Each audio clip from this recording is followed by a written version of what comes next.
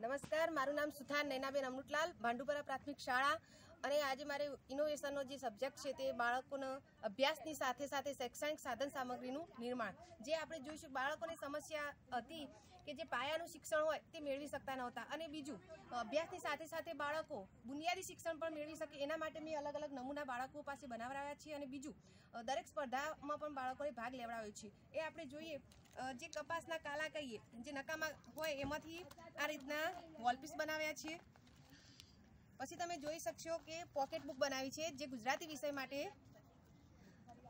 એક નંબરથી ચૌદ નંબર સુધી એના આપેલા છે ટોપિક અને અહીંયા જાતે ચકાસીએ એટલું બોર્ડ બનાવેલું છે. જ્યારે બાળક અહીંયા એક નંબરની પોકેટ બુક લેશે અને એની અંદર લખેલું હશે ભાઈ મૂળાક્ષરોની ઓળખ.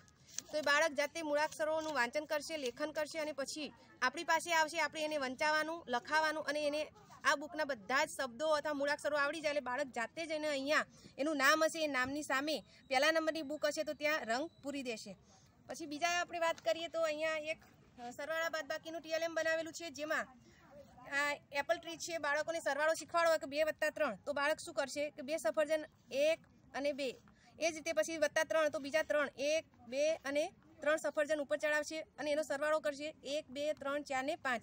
તો આ રીતે એ વાંચન પણ કરી શકશે અને સ્લેટમાં લખી પણ શકશે. બાદ બાકી કરવી હોય તો કુલ પાંચ સફરજન છે તો એમાંથી બે નીચે પડી ગયા તો કેટલા બાકી રહ્યા તો એની પણ એ બાળક ગણતરી કરી શકશે. હવે આપણે વાત કરીએ કે મણકા ગોળી જે પહેલાં આખી સ્કૂલમાં એક જ મણકા ગોળી હતી, એની જગ્યાએ અત્યારે હાલ બાળક પર્સનલ એક જ મણકા ગોળીનો ઉપયોગ કરી શકે, એના માટે આ કાર્ડ બનાવ્યું છે. બાળક ગણતરી કરી શકે, એક બે, ત્રણ અને બાજુમાં અંકો લખેલા છે. એ બાળક સ્લેટમાં લખીને તૈયાર કરી શકશે. જ્યારે અગિયારથી વીસની વાત આવે એટલે એમાં મણકાનો રંગ બદલી દીધો છે એટલે બાળકને ખબર પડે કે આ જે વાદળી કલરનો મણકો દેખાય છે તે દસ દસ ને એક, અગિયાર દસ ને બે, બાર. એ રીતે બાળક છે કે વીસ સુધી ગણતરી કરી શકશે. એના પછી આપણે જોઈએ જે મગફળીના ફોતરા હતા, એમાંથી આ જીવજંતુઓ બનાવેલા છે. નાની મોટી સંખ્યાની સમજ તો અહીંયા આવા કાર્ડ બનાવ્યા છે અલગ અલગ નંબરના. જો બીજાવાળું બાળક હોય તો દશક સુધીના ભરાવાના, તો એને ત્યાંની ખબર પડે. ત્રીજાવાળું બાળક હોય તો સો સુધી અને ચોથા ધોરણમાં ભણતો તો હજાર સુધી. તો આ એક જ ટીએલએમથી બાળક એકમ દશક સો હજારની માહિતી મેળવી શકીએ સ્થાન કિંમત જાણી શકીએ તરત આગળની, તરત પાછળની બધી સંખ્યાઓ જાણી શકે. એના પછી આ એક ફિશ બોક્સ કરીને એક ટીએલએમ બનાવેલું છે. જેમાં બાળક માછલી પકડતો હોય એ રીતે કરશે. અહીંયા ટચિંગમાં માછલી આવશે. તો અહીંયા જે ત્રીજા ધોરણમાં બાળક ભણતો હોય, સો સુધીની ચોથા ધોરણવાળા બાળક માટે હજાર સુધીની સંખ્યાઓ છે.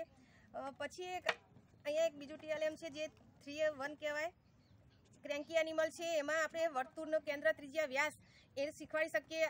જંગલી પાલતુ પ્રાણીની ખબર પડે એટલે પર્યાવરણ વિશે શીખી શકીએ અને એના વિશે વાક્યો લખી શકીએ એટલે ગુજરાતી વિષય પણ એને તૈયાર થાય.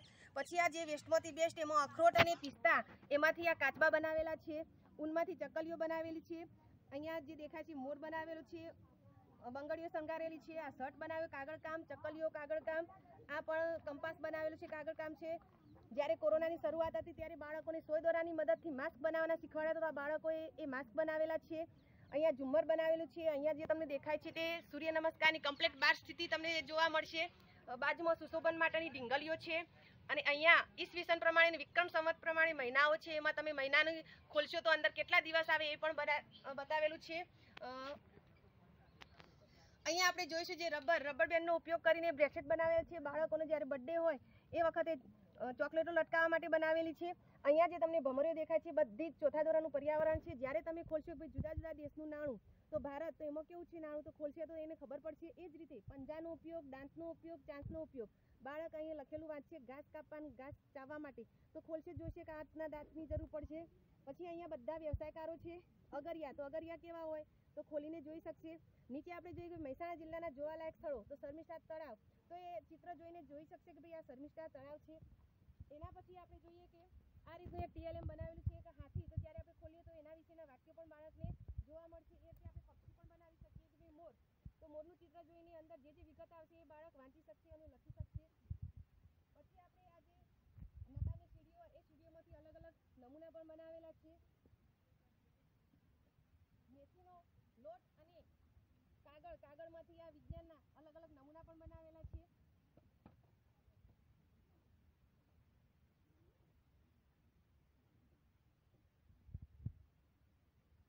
આ કાગળ કામમાં સ્ટાર બનાવેલા છે અલગ અલગ રહેઠાણના નમૂના છે આ બહુમાળી મકાન છે